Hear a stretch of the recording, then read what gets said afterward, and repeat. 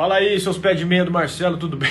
Chegou a hora do Perguntas Aleatórias do Dia. Eu vou rodar aqui a caixinha, não vou olhar a pergunta e simplesmente responder para todo mundo conseguir participar. Vamos lá.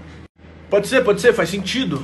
É, mas você lida com duas pessoas nessa equação que talvez não queiram, né? O próprio Danilo, às vezes quer ir pra Europa, e o empresário do cara também. Então é muito difícil essa conta, por mais que o Palmeiras queira.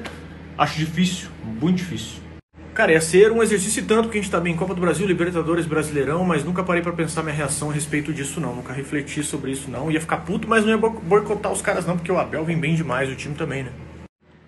Pode ser, pode ser, cara, mas ainda tem o Kusevich para entrar ainda, né? Então, só se ele jogar com duas duplas de zaga, alternando as competições, igual o Felipão fez em 2018. Mas aí vai ser decisão bem particular do Abel mesmo. Eu não sei, tem que ter muita confiança. Cara, eu acredito que ele vai equilibrando os pratos, até respondi isso mais cedo. Creio que ele vai equilibrando conforme for andando as competições, que nem eu disse aí, tem uma data aí que tem São Paulo Copa do Brasil, depois tem o Havaí pelo Brasileirão e depois tem o Cerro Portenho.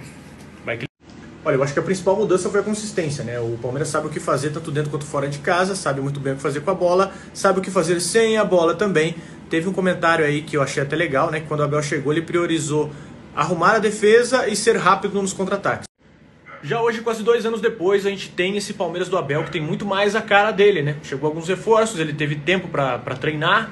Então, é só fruto do trabalho e mostra o excelente treinador que ele é. Mas o que impressiona é a consistência e o profissionalismo.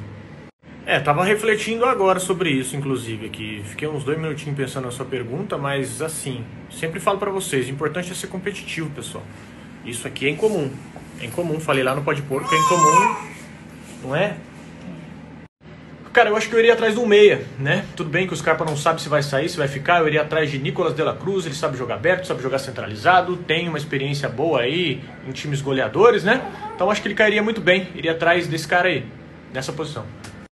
Cara, se você for puxar aí por tudo que construiu o Luiz Adriano, né? Luiz Adriano, pô, era para sair ídolo aí, um dos melhores aí, o melhor pós 2000, né? Ele conseguiu destruir tudo, não só destruir tudo, como sair odiado também.